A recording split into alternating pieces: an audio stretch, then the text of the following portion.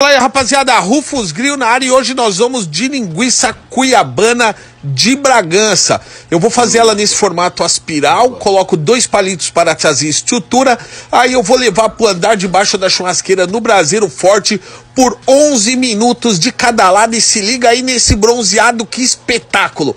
Tá pronta aí a nossa linguiça, rapidão de fazer. Agora eu vou cortar ela ao meio, se liga a quantidade de recheio que tem nessa linguiça aí, rapaziada. É um verdadeiro espetáculo.